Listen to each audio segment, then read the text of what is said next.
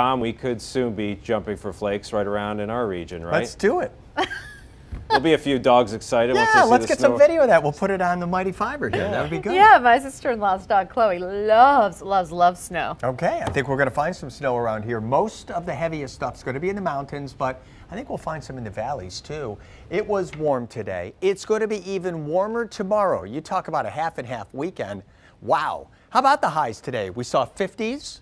We saw some 60s. Look at Lebanon topping out at 60, 62. Springfield, low to mid 50s in the Champlain Valley, just a little bit cooler in Montreal. Here's what's going on right now. Most of us are in the 30s from the Northeast Kingdom to the Champlain Valley down into southern Vermont. 31 degrees right now in Saranac Lake, and we're looking at a 40 in Massena. This really tells the tale. I thought this map was terrific tonight because if you look to the west, it's a lot warmer. That's the stuff coming in for the first half of the weekend. 62 Buffalo, 60 Detroit, 57 in Pittsburgh. So our temperatures go up, but they don't stay up. Second half of the weekend, this is what we're looking at where the high on Sunday only about 40 degrees, and then I think temperatures dropping some during the afternoon. So storm tracker, no big surprise. We've got clear skies. That spells Saturday. Saturday is going to be a great day, but then that system back to the west. We've got rain here and then snow here. This is the system coming our way. So it looks like Saturday night, then into Sunday. We do have rain around here. That rain is going to mix with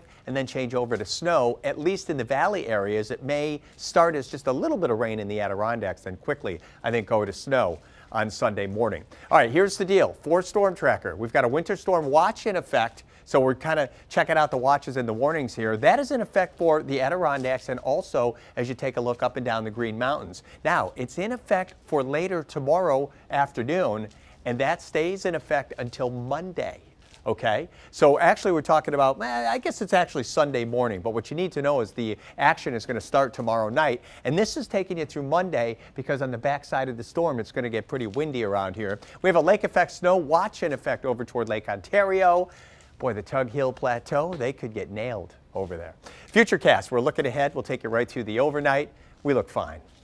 There's your tomorrow. Great day. Late in the afternoon, a few clouds in the St. Lawrence Valley. It gets interesting tomorrow night. We've got rain showers in the valleys and we've got some snow. It starts late tomorrow night and it's there certainly by the beginning of Sunday. If we're finding rain in some locations Sunday morning, which I think we will, it is going to mix with then change over to snow by later in the day, and then we're going to find snow around on Sunday night. And then into Monday, it is going to be a windy day. We're going to find more snow, most of the snow at that point in places like the Green Mountains in the Adirondacks. That's one of those setups where, you know, a place like Jay Hill gets, uh, uh, Jay Peak, I should say, gets really nailed with, gosh, I don't know, 8, 10, 12 inches of snow.